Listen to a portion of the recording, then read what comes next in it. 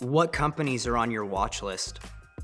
A couple companies on my watch list right now are Tyson Foods and Disney, the Walt Disney Corporation. What are your must read materials each day?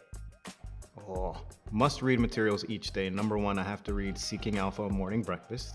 And number two, I am reading financial news, scanning the financial news to find important articles for me to dig into every morning. What is your favorite philism? Okay, my favorite philism is uh, your first loss is your best loss because he's reminding us to keep our losses short. What is your favorite guru quote? One of my favorite guru, one of my favorite favorite.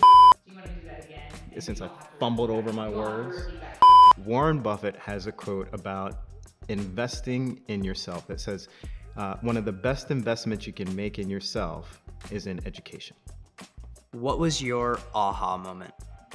My aha moment came at my workshop in 2015 where my coach sat down with me and explained to me that I could make money with money without having to own any shares. And at that moment, it totally blew my mind. He introduced the world of options trading around wonderful companies, and everything clicked together in that moment for me. Who is the perfect candidate for Rule 1 investing? The perfect candidate for Rule 1 investing is literally everybody. If you're old enough to read and write and use a computer, you can learn how to invest.